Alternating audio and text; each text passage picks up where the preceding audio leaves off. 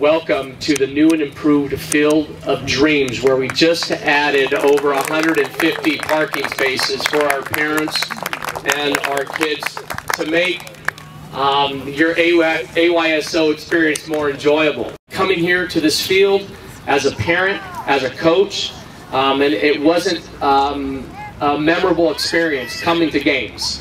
Uh, where we had a park down below, use Home Depot parking lot, park on the hill, and unless you were a coach or you had a handicap placard, you weren't able to park up here. Well, we've changed that.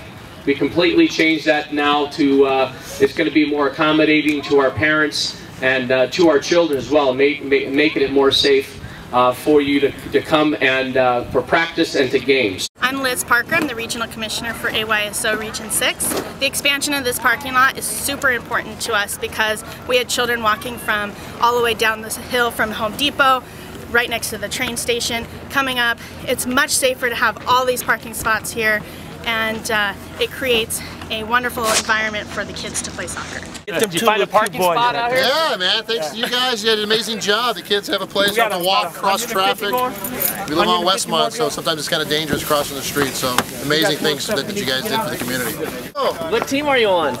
What team, Noli? Dodgers. Dodgers. The Dodgers, baby. oh, it's beautiful, man. This is exactly what we need.